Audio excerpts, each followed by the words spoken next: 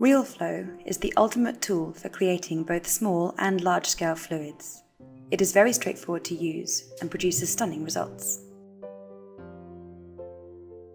It all starts here in the 3D platform, where we will model the objects that will interact with the simulation.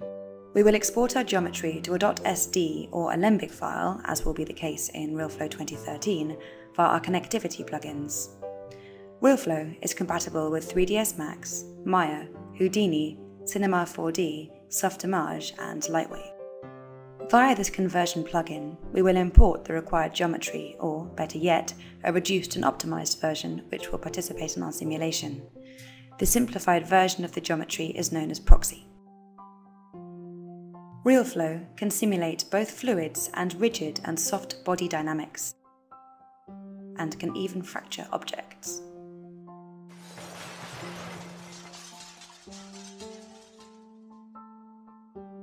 When we open RealFlow, we have a graphic user interface through which we are able to adjust the values of the simulation and sculpt fluids accordingly to our requirements.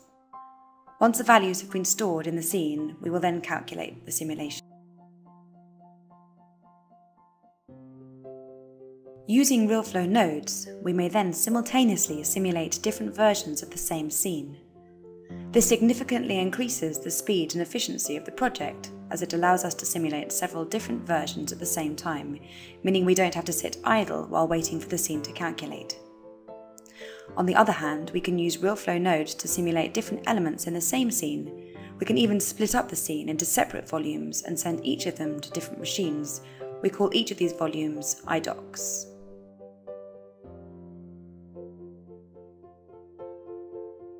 Once the particle simulation has been completed, we have two options.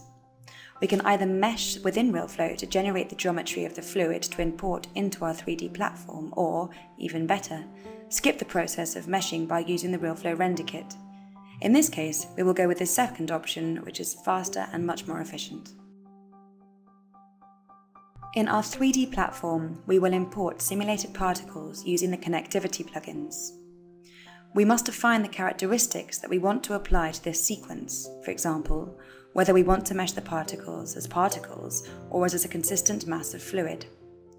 The RealFlow render kit will then generate this at render time.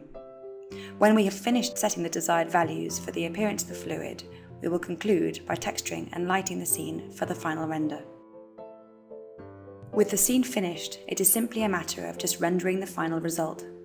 Thanks to the RealFlow render kit, we can create wonderful forms of fluid in the render, working from the particles which we have simulated in RealFlow. With the addition of extra machines, which also hold RealFlow render kit licenses, we can run parallel rendering of different frames in a sequence, which significantly speeds the rendering process. The RealFlow render kit does not participate in the whole rendering process. It simply embeds data into the render engine, which assists with the rendering of the scene. Once the render kit has performed this task, the rendering engine continues to render, freeing up the render kit license. In the case of Maxwell Render, the RealFlow render kit is already embedded into the renderer, so you do not need to purchase additional licenses.